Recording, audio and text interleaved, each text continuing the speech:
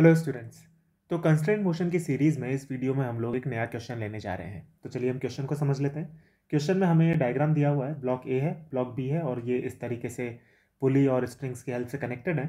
हमसे पूछा गया है block A is moving away from the wall at a speed V and acceleration A तो हमें ऑप्शन से पता लगेगा हमें इसमें क्या बताना है। तो देखिए ऑप्शन ए कह रहा है velocity of B with respect to A क्या होगी ये हमको बताना है। तो acceleration of B with respect to A क्या होगा? Acceleration of B with respect to A यानी कि एसेलरेशन और वेलोसिटी के बारे में हमको बताना है कि बी का ए के रेस्पेक्ट में वेलोसिटी और एसेलरेशन क्या होगा। ये क्वेश्चन है, ठीक है? तो एक बार आप खुद से ट्राई कर लीजिए क्वेश्चन को वीडियो को पॉज करके, फिर उसके बाद में आप मेरे सॉल्यूशन को देखिए। तो चलिए हम सॉल्व करते हैं। देखिए। हमारे पास में ये डायग्राम दिया हुआ है। ए जो है वो लेफ़्ट डायरेक्शन में जा रहा है। इसकी इंस्टेंटेनियस वेलोसिटी है वी और इसका एसेलरेशन है ए तो हमें बताना है कि बी का एसेलरेशन क्या होगा? पहले तो हमको ग्राउंड के फ्रेम में निकालना पड़ेगा। फिर हमको निकालना होगा कि बी का एसेलरेशन ए के रेस्पेक्ट में क्या होगा? और यही काम हमें करना होगा वेलोसिटी के लिए। तो देखो, मान लेते हैं कि इस स्ट्रिंग के अंदर टेंशन टी है। तो यहाँ पे हर जगह टी हो जाएगी। ब्लॉक बी के ऊपर भी टी लग रही होगी tension in the upward direction ठीक है? और मान लेते हैं कि लेट से ब्लॉक बी की जो वेलोसिटी है अपवर्ड डायरेक्शन में, वो वी वन है और इसका एक्सेलरेशन ए वन है। ये दोनों हमने बी के बारे में मान लिया। ठीक है ग्राउंड के रेस्पेक्ट में माने हैं। अभी हमने ए के रेस्पेक्ट में नहीं माने हैं। पहले हम ग्राउंड के रेस्पेक्ट में निकालेंगे, फिर ए के रेस्पेक्ट में उसको कन्वर्ट कर देंगे। ठीक है तो ए के ऊपर जो टेंशन फोर्स लग रहा होगा, वो होगा टू टी और टू टी जो कि इन दोनों स्ट्रिंग्स में आ रहा होगा।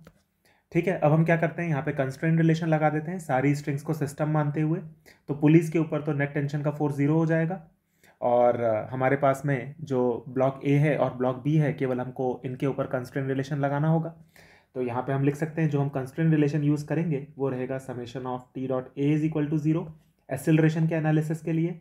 और क्योंकि वेलोसिटी और एसिलरेशन दोनों ही हमको वी और ए दिए हुए हैं तो इनका जो रिलेशन हमारे पास में एसिलरेशन के लिए आएगा, वही वैसा ही दिखने वाला रिलेशन हमारे पास वेलोसिटी के लिए भी आएगा। तो हम केवल एसिलरेशन के लिए निकालते हैं सिमिलर रिलेशन हमारे पास में वेलोसिटी के लिए भी जनरेट हो जाएगा। तो हमें डबल काम करने की ज़रूरत नहीं है। ठीक है? तो हम एसिलरेशन के लिए सॉल्व करते हैं। तो ब्लॉक ए के लिए जो हम इक्वेशन लिखेंगे, वो बनेगी four T multiplied by A multiplied by cos of one eighty, क्योंकि टेंशन और एसेलरेशन ब्लॉक ए के लिए अपोजिट डायरेक्शन में है। ब्लॉक बी के लिए जो इक्वेशन बनेगी, वो होगी T multiplied by a one multiplied by cos zero ये इक्वेशन बनेगी और इन दोनों के एडिशन को अपन कर देते हैं ज़ीरो तो यहाँ से हमारे पास में देखो ए वन का क्या रिलेशन आ रहा है।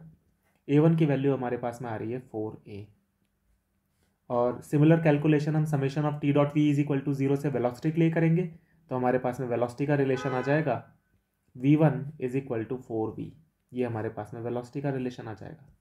तो यहाँ से हमारे पास में ए वन और वी वन आ गए, यानी कि ब्लॉक बी की वेलोसिटी और एसिलरेशन हमारे पास में आ गए। अब हम क्या करेंगे कि ब्लॉक बी का वेलोसिटी और एसिलरेशन हम ए के रेस्पेक्ट में निकालेंगे। तो अब देखो, ये है ट्रिकी पार्ट इस क्वेश्चन का। बी जो है उसकी वेलोसिटी और एक्सेलरेशन हमारे पास में आ गए हैं फोर ए और four v in the upward direction तो हम केवल एक्सेलरेशन के लिए काम करते हैं सिमिलर रिज़ल्ट हमारे पास वेलोसिटी के लिए आएगा, क्योंकि डेटा में कंसिस्टेंसी है. ठीक है? तो ये तो है बी का एक्सेलरेशन ग्राउंड के रेस्पेक्ट में. अब हमें ए के रेस्पेक्ट में अगर सॉल्व करना है तो ए को रोक दो और ए का एक्सेलरेशन उल्टा करके बी में ऐड कर दो. तो ये यहाँ पे हम इस तरह से ऐड कर देंगे. तो इन दोनों का जो रिजल्टेंट आएगा, वो होगा acceleration of B with respect to A और इन दोनों का आप रिजल्टेंट देख सकते हो। वो कैसे निकालेंगे हम? ये होगा ए रिजल्टेंट और ए रिजल्टेंट की वैल्यू कितनी हो जाएगी? ए रिजल्टेंट हो जाएगा four a whole square plus a square और इस पूरी चीज़ का अंडर रूट तो ये बन जाएगा रूट सेवनटीन ए तो यही है आंसर इस क्वेश्चन का। ये है acceleration of B with respect to A और इसी तरीके से velocity of B with respect to A ये हो जाएगी root seventeen v by similarity तो ये आंसर्स आएँगे। अब हम ऑप्शंस को चेक करते हैं। तो देखिए, यहाँ पे आप देख सकते हैं कि केवल ऑप्शन डी मैच कर रहा है और कोई भी ऑप्शन मैच नहीं कर रहा है तो ऑप्शन डी ही इस क्वेश्चन का आंसर है। तो ये हमने एक कंस्ट्रेंट मोशन का क्वेश्चन सॉल्व किया, जिसमें रिलेटिव मोशन का कंसेप्ट भी थोड़ा बहुत लग गया। ठीक है स्टूडेंट्स तो मैं होप कर रहा हूँ आपको ये क्लियर हो गया होगा। हम लोग मिलेंगे और नए चैलेंजिंग प्रॉब्लम्स और कंसेप्ट के साथ में आने वाले वीडियोज़ में। Thank you